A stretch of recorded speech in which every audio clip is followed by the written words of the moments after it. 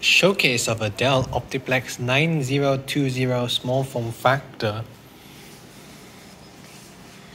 Got yourself a slimline optical drive there, dual U uh, audio jacks, dual USB 3, dual USB 2, Dell logo, Intel Inside, and Windows sticker.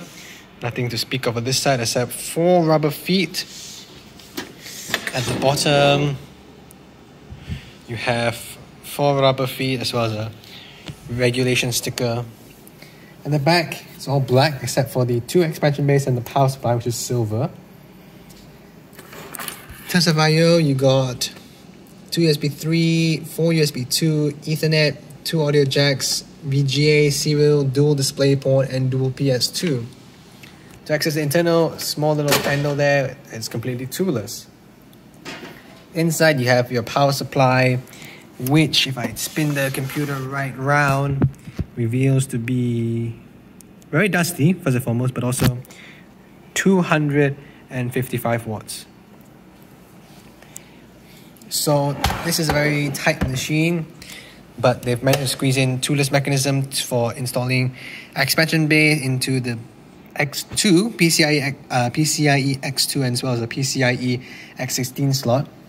Well, X2 is pretty uncommon, I have to say.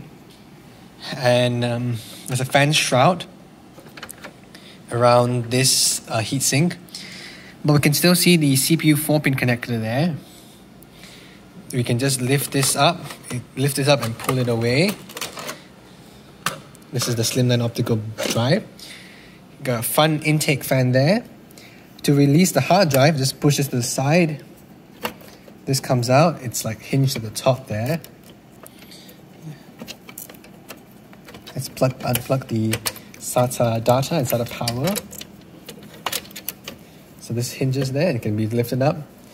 You can see a CMOS battery, four DDR3 RAM slots, and we got a proprietary seven, eight pin, but only six, uh, seven of the eight pins are populated for the motherboard. Speaker over there, power button switch, and then we got a right angle USB 3, as well as front panel that goes there and there. And suffice to say, I don't think this power supply is standard, nor is this motherboard standard, but you could probably squeeze into a micro ATX uh, chassis if you like to. The screw holes seem to relatively line up, and you know it's not BTX, it's not inverted.